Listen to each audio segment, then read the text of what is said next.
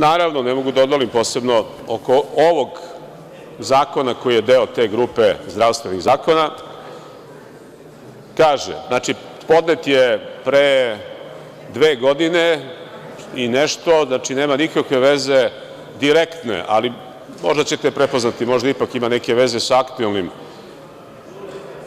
čovekom koji se predstavlja kao predsednik Srbije, kaže Predlog zakona o dopuni Zakona o izboru predsednika Republike, član 1. Zakon o izboru predsednika, „Službeni glasnik“ taj i taj, u članu 11. stav 3. posle tačke 2. dodaje se tačka 2a koja glasi da je 2a lekarsko uverenje o zdravstvenoj sposobnosti za zasnivanje radnog odnosa u državnim organima.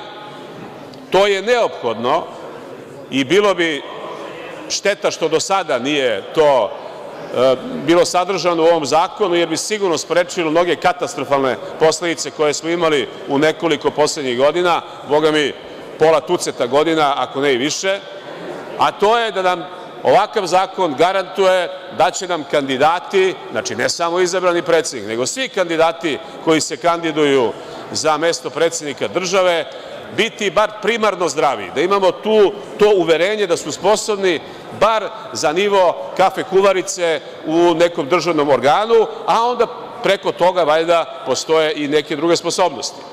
Šta bi se desilo da je usvojen ovaj zakon, odnosno šta se ne bi desilo? Ne bi se desile halucinacije razne. Recimo, kanal Dunav-Morava-Vardar-Egejsko more, pa da ne znamo gde ide ta voda, u Crno more Dunavom ili u Egejsko more preko reke Vardar. To je malo teško spojiti, čak i mala deca znaju to, ali neki predsednici to nisu znali. Ili, recimo, da neko ima jasan stav, jel dobro da žene rađaju ili nije? Da li pre godine nije dobro zato što kad one rađaju žele da ne rade i da se izvlače ili je sad dobro da rađaju da će za to dobiti nadoknadu? Ili, da li je Haradinaj ratni zločinac ili koalicioni partner?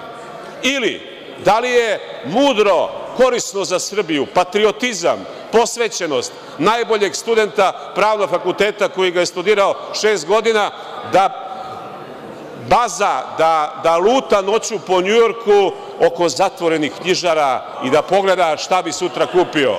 Koliko znam, nijedna knjiga nije doneta ni u privatnim koferima, ni u diplomatskim koferima iz Amerike, doneto je nešto drugo, to drugo nadležni organi će da utvrde tačan iznos, oznaku valute i generalno mesta gde je to sklonjeno, ali ja predlažem da usvojimo ovaj zakon i da sprečimo da se to ponovi.